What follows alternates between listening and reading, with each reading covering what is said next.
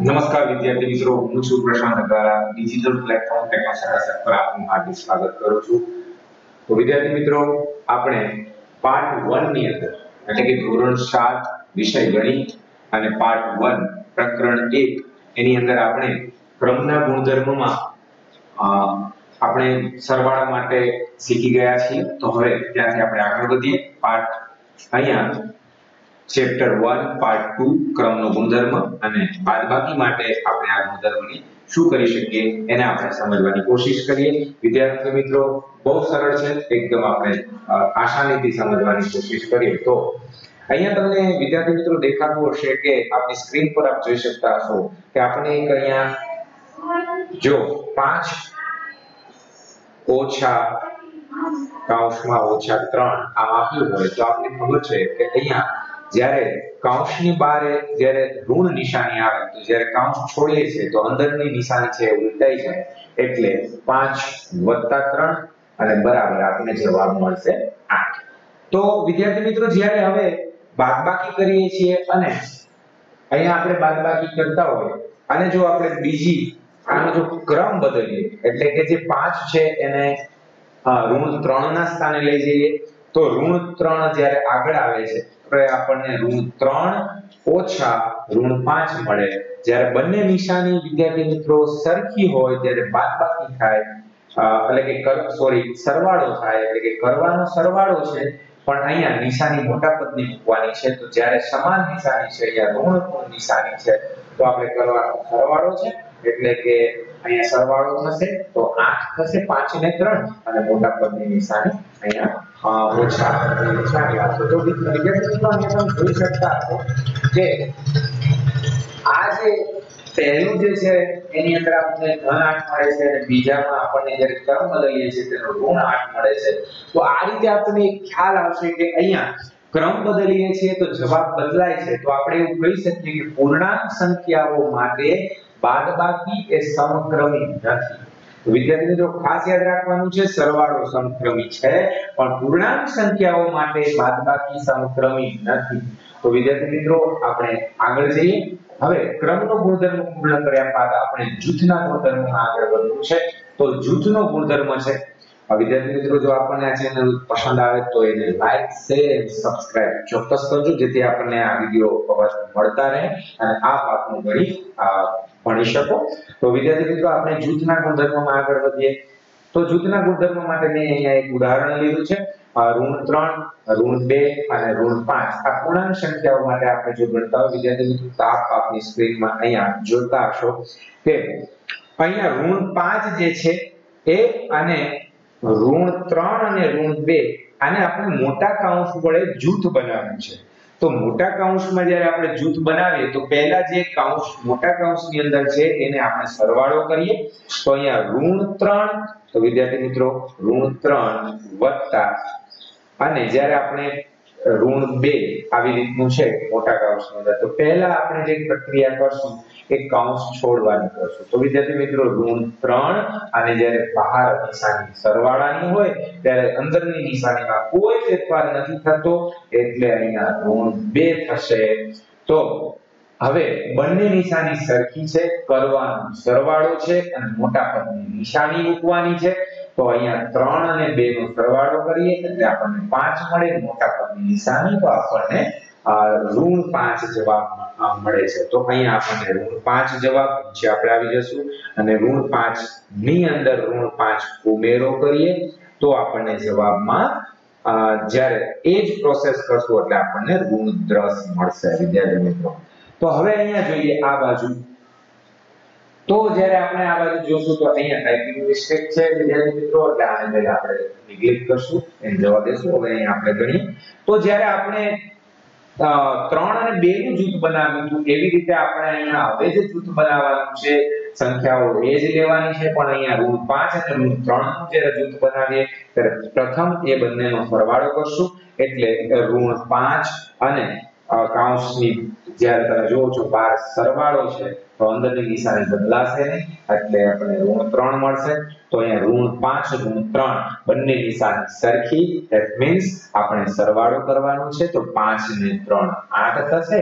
મોટા પદની નિશાની આપણે મૂકીશું. તો ઋણ આઠ આપણે જવાબ આવશે. અને પછી એ જે ઋણ આઠ આવે એની અંદર આપણે ઋણ બે ઉમેરવાના છે.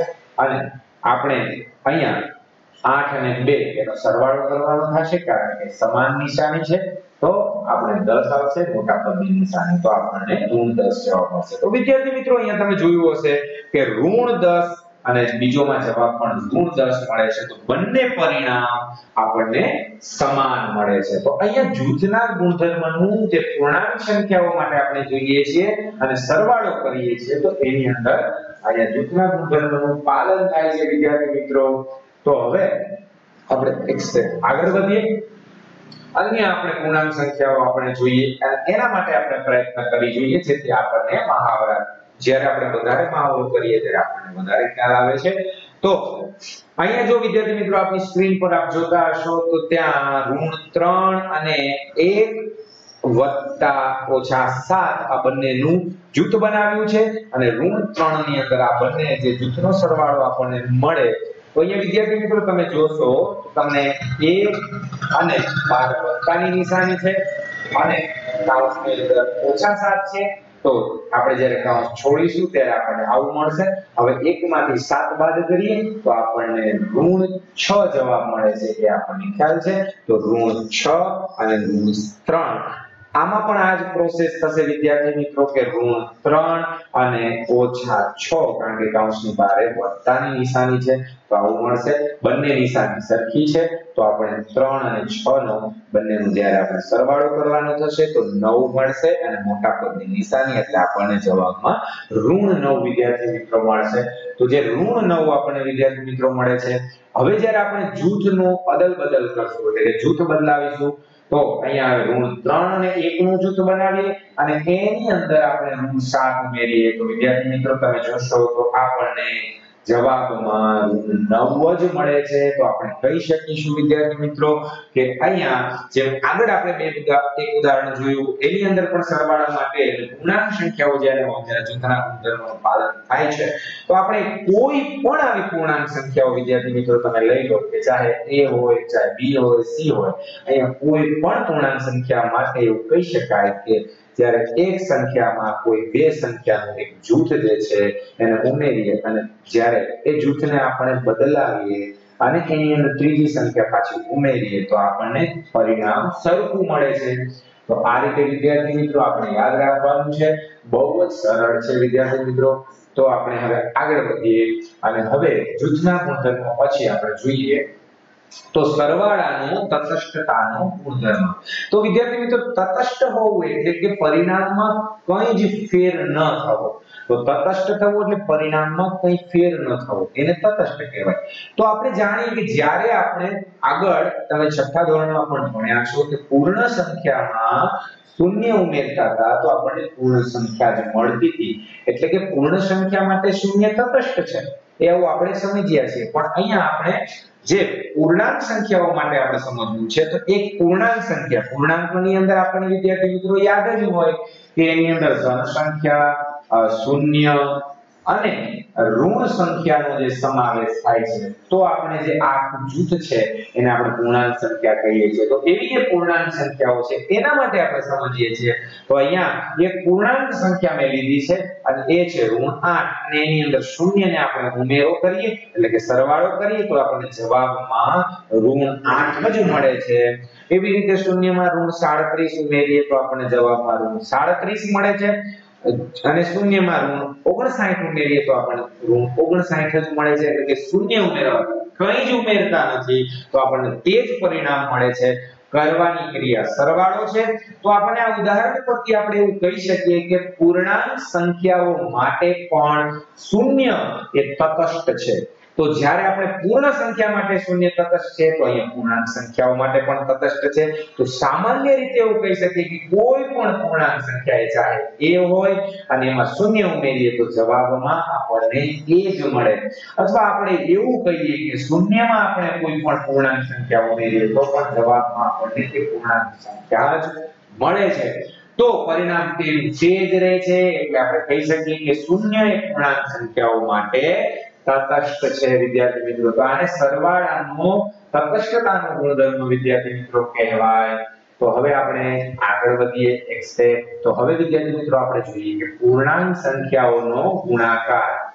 તો જે પૂર્ણાંક સંખ્યાઓનો ગુણાકાર છે, એના માટે આપણે વિદ્યાર્થી મિત્રો જોઈએ કે પૂર્ણાંક સંખ્યાનો જે આપણા અગાઉના ધોરણમાં આપણે ભણી ગયા છે કે પૂર્ણ સંખ્યાનો ગુણાકાર એ સરવાળાનું પુનરાવર્તન છે. સરવાળાનું પુનરાવર્તન એટલે શું? તો વિદ્યાર્થી મિત્રો, આપણે આવું કરતા હોય કે 2 2 2 2 તો અહીંયા વિદ્યાર્થી મિત્રો, મને ખ્યાલ છે કે જે પુનરાવર્તન એકની એક સંખ્યાને હું વારંવાર સરવાળો કરું છું. તો અહીંયા જોશો તો તમને ચાર વાર મેં 2 નો સરવાળો કર્યો. તો હું એવું કહી શકું કે અહીંયા ચાર વાર સરવાળો કર્યો એટલે ચાર અને એને ગુણ્યા કઈ સંખ્યાનો વારંવાર સરવાળો કર્યો તો બે?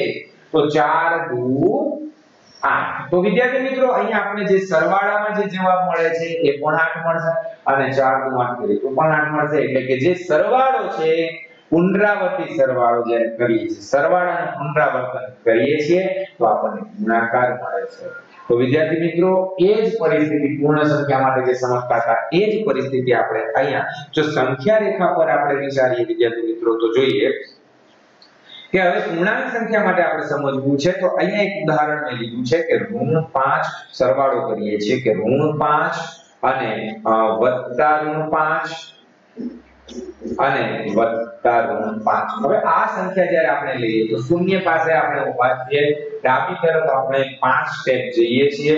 તો અહીંયા પહોંચીએ છીએ. અને ત્યારબાદ ઋણ 5 થી વળી પાછા એક સ્ટેપ ઋણ 5 સરવાળો કરીએ છીએ. એટલે એટલા કૂદકા આપણે મારવાના છે. ડાબી તરફ જઈએ છીએ. તો આપણને જવાબમાં વિદ્યાર્થી મિત્રો ઋણ 15 મળશે.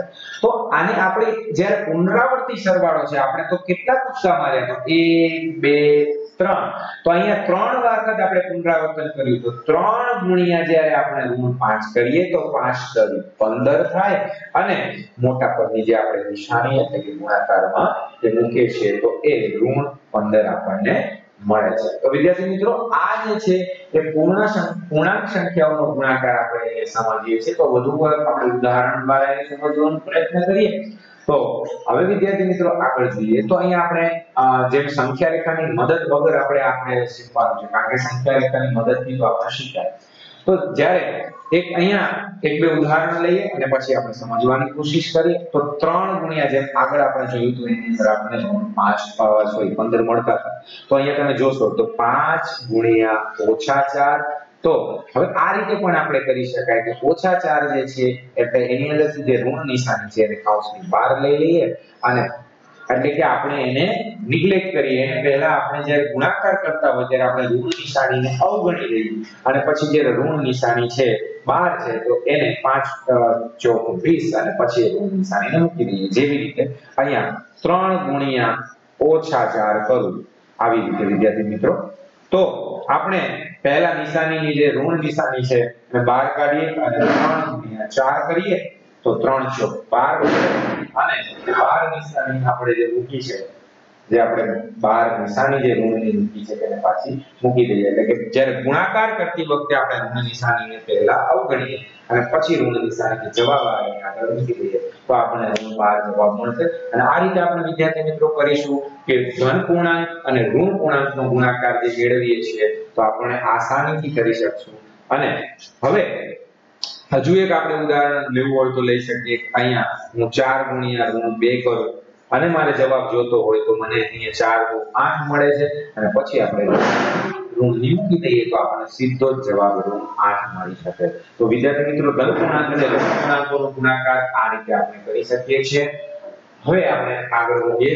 તો એની અંદર, તો અહીંયા તમે જોતા હશો વિદ્યાર્થી મિત્રો કે આપણે ધન પૂર્ણાંક અને ઋણ પૂર્ણાંકનો ગુણાકાર જેમ શોધ્યો, એ પૂર્ણ સંખ્યાનો જે ગુણાકાર છે, એ કર્યા પછી જે જવાબ મળે છે, તેની આગળ આપણે શું કરી દીધું છે? ઋણ ચિહ્ન મૂકવામાં આવે છે. એટલે કે આપણને ઋણ પૂર્ણાંક મળે છે.